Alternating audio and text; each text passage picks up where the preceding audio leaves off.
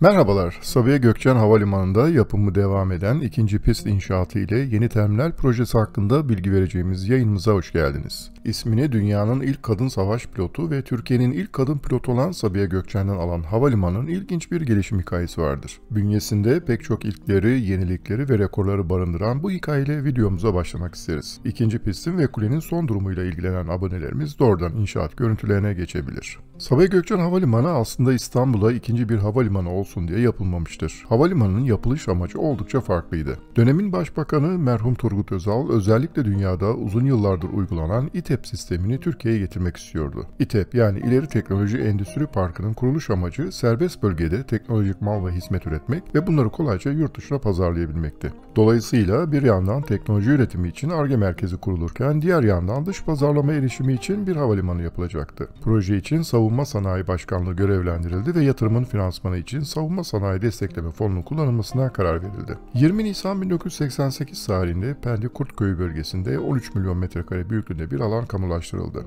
İTEP projesinin 25 yılda tamamlanması öngörülmüş ve ilk master planı 1993 yılında yapılmıştı. O dönemde İTEP projesi Güneydoğu Anadolu projesi kaptan sonra ülkenin en büyük projesidir. Yapımına 8 Şubat 1988'de başlanan havalimanı, yapılan diğer tüm havalimanlarından farklı olarak Ulaştırma Bakanlığı yerine Milli Savunma Bakanlığı kaynakları ile inşa edilir. Türkiye'de bu bir ilktir. Sabiha Gökçen Havalimanı'nın işletimini gerçekleştirmek için 27 Ocak 2000 tarihinde kamu sermayeli bir şirket kurulur. Adı HH olur. 2000 yılının sonunda inşaatı bitirilen havalimanına ilk sefer 8 Ocak 2001'de gerçekleştirilir. Sabiha Gökçen Havalimanı Türkiye'de özel bir şirket tarafından işletilen ilk havalimanıdır. Toplam 550 milyon dolara mal olan havalimanı ilk yıllarda hayal kırıklığına sebep olur. Talep maalesef zayıf kalmaktadır. Öte yandan İTEP projesine ilk önce havalimanı yapılarak başlanması da sıklıkla eleştirilmektedir. Zira bu projenin hedefi adından da anlaşılacağı gibi üstün teknolojik özelliklere sahip ürün ve hizmetlerin üretilmesi, dış ülkelere satışının yapılmasıdır. Havalimanı ise bu projede uluslararası ilişkilerin kolaylıkla yürütülmesini sağlayacak bir araçtır. Projenin gerçekleşmesinde araç olarak düşünülen havalimanının amaç haline gelmesi bu eleştirilerin dayanak noktasıdır.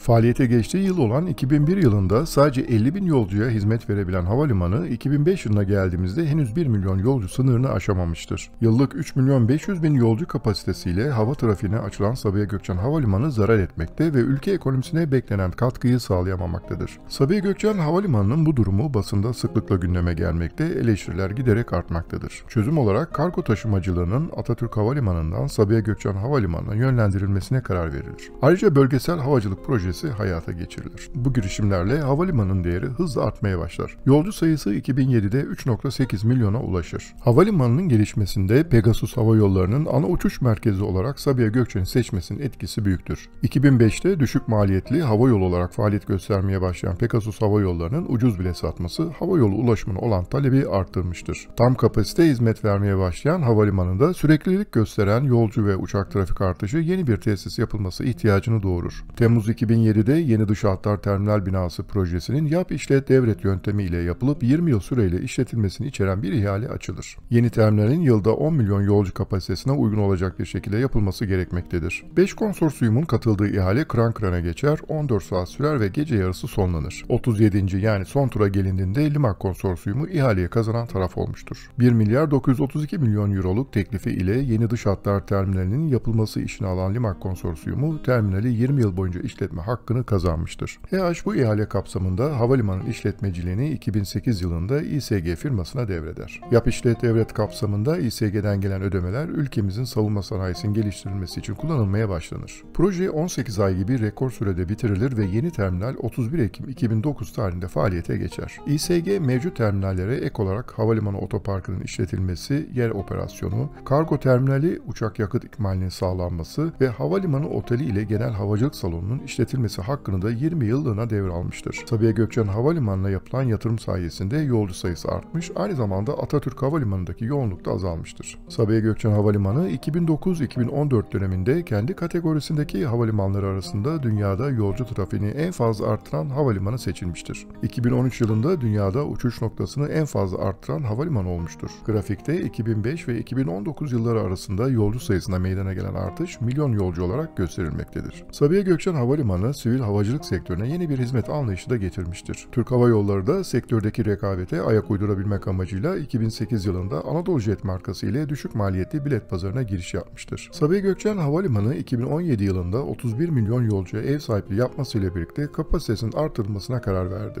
İSG tarafından yaptırılan iç hatlar terminali ek binası 2018'de hizmete açıldı. Yeni yapılan ek bina ile yıllık yolcu kapasitesi 33 milyondan 41 milyona çıktı. 2014 yılında yapılan hisse devirleriyle Malezyalı firma İSG'nin tümüne sahip oldu. 2017 yılında 31 milyon yolcu, 220 bin uçak trafiği ve 50 bin ton kargo hacmiyle Sabiha Gökçen Havalimanı ülkenin en işlek ikinci havalimanı haline geldi. Airhealth.com tarafından yapılan bir araştırmaya göre dünyanın en iyi 29. havalimanı seçildi. Rüzgarı iyice arkasına alan Sabiha Gökçen Havalimanı için yeni bir pist ve terminal gerekiyordu. Projesi hemen hazırlandı. 715 milyon doları kamulaştırma bedeli olmak üzere toplam 1.3 milyar dolara mal olacak proje ile 3500 metre uzunluğunda ve 60 metre genişliğinde yeni bir pist yapılmasına karar verildi. Proje kapsamında 112 metre yüksekliğinde ve 26 metre çapında yeni bir kule yapımda vardı. 7 Haziran 2016 tarihinde yapılan ihale sonrası yeni pistin ve kulenin yapım işine hemen başlandı projenin 1100 takvim gününde bitirileceği açıklandı. Yeni pist ile artacak yolcu kapasitesinde karşılayabilmesi için ilk fazında yıllık 25 milyon yolcuyu ağırlayabilecek yeni bir terminal projesi de planlandı. Henüz yapımına başlanmayan yeni terminalin ikinci etabında 30 ve üçüncü etabında 35 milyon yolcu kapasitesine ulaşması hedefleniyor. Yeni terminal binası ile birlikte 40 civarında ek yolcu köprüsü de inşa edilecek. Mevcut check-in noktasına ek olarak 112 yeni nokta eklenecek. Gidiş ve geliş olmak üzere 48 yeni pasaport kontrol noktası da yeni terminal projesinde yer alıyor alıyor. Yapılacak yeni terminalin sadece Pegasus firmasının kullanımına verilme ihtimali var. Mevcut terminal ve yeni terminalin bağlantısının servis yollarıyla sağlanması planlanmakta. Servis yollarında otonom cihazlar yani sürücüsüz otobüsler kullanılacak. Bu sayede hem iki terminal arası bağlantı kurulacak hem de metro ile gelen yolcuların ikinci terminale ulaşması sağlanacak. Yeni terminalin ayrı bir giriş kapısı ve nizamiyesi de olacak. Yeni terminal binası yaklaşık 200 bin metrekare. Uydu binası ile birlikte bu alan 240 bin metrekareye çıkıyor. Çatının özel bir formu olacak. Bazı yerlerde 22 metre yükseklikten dalga efektiyle gidiş ve geliş katlarına inen ilginç bir tasarımı var.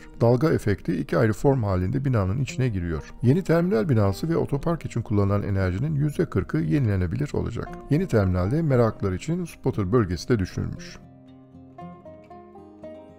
Havacılık sektörünü büyük bir krize sokan Covid-19 kaynaklı pandemi Sabiha Gökçen Havalimanı'nın son yıllardaki hızını biraz kesti. Yeni terminal binası projesinin başlama tarihi bir sene ötelendi. Yeni terminal projesi HEAŞ'a ait bir proje ve yap işlet devlet modeliyle hayata geçirilmesi planlanıyor. İhalenin ardından terminal inşaatının temelinin gelecek sene atılması bekleniyor. Yılların yorgunu birinci pistin uzun zamandır yapılamayan bakımı bu dönemde tamamlandı. Öte yandan ikinci pistin ve kulenin yapım işleri pandemi döneminde durmadı. Kaya dolgu ve konkasiye temel işi tamamlanan pistin zayıf beton imalatının Kasım ayında bitirilmesi hedefleniyor. Banket ve gövde kaplama işleri ile elektrik altyapısının yeni yılın ilk aylarında tamamlanması ve pistin Mart ayında uçuş uçağı hazır hale getirilmesi planlanıyor. 2021 yılında tamamlanması beklenen M4 metrosu ile raylı sisteme de kavuşacak olan Sabiha Gökçen Havalimanı, ikinci pisti ve yenilenen kulesi ile yeni yılda İstanbul'a ve yakın çevresine hizmet vermeye devam edecek.